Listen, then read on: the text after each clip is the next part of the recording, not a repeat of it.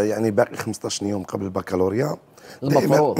من المفروض إحنا دائما شعارنا للتلاميذ إذا أردت فأنت تستطيع يعني دائما مادة الفلسفة يقدر التلميذ في ال 15 يوم هذه على الأقل يستوعب ثلاث مقالات أربع مقالات. يعني ما نقولوش كاين استيعاب كامل باسكو بعض التلاميذ يقول لك الحفظ الآلي البغبغائي إحنا نرفضوه كأساتذة. ديما نقولوا للتلميذ تاخذ المسلمات تاخذ الأمثلة تاخذ الحجج وتستعمل أسلوبك.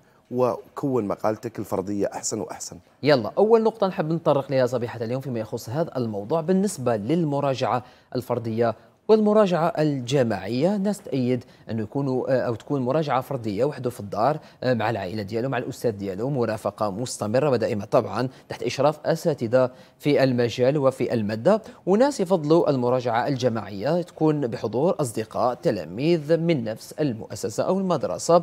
في نفس المادة في رأيك أنت وشنو هي الطريقة الأنجع للاستفادة من المراجعة في هذه المواد في هذه الأيام عفوا. آه بالنسبة للمراجعة يعني دائما التلميذ نقول له تكون الأفكار الأفكار والمعلومات مثلا في مادة الفلسفة أخذ الأقوال أخذ الأمثلة تكون في مراجعة جماعية مع الأستاذ.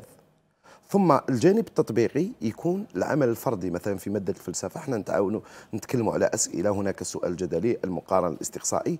إحنا نقولوا للتلاميذ دائما اعملوا في البيت. يعني دائما إحنا نعطوك الأفكار نعطوك المعلومات نعطوك المسلمات والحجج وما عليك سوى التحليل وتحليل المقال دائما بأسلوب فلسفي. يعني دائما تكون معادلة يحاولوا أنه إيه، يوازنوا بين المراجعة الجماعية والمراجعة نعم الفردية. نعم.